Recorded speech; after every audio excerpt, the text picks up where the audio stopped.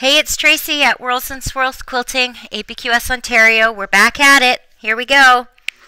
So this is spineless. It's a leaf. And we're just going to attach them together. It's a very bulbous leaf.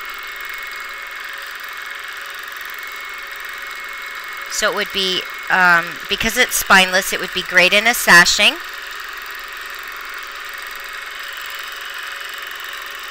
However, you could sort of just travel around with it by changing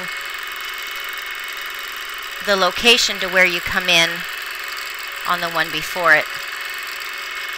That made absolutely no sense. Just watch. That's what Judy said last week when she was here, and I had to giggle because I feel exactly the same way half the time. I'm much better at showing it to you than I am explaining it.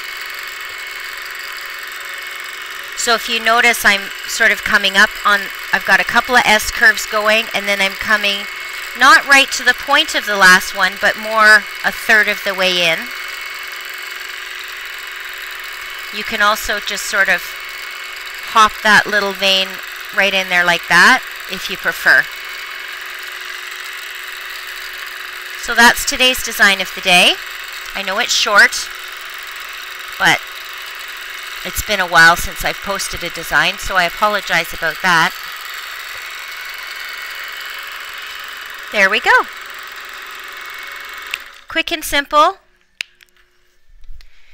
Be great in a border too. So I hope you're all taking the time to doodle. There we go. And uh, we'll do some more. Have a great day, everyone. We'll see you tomorrow.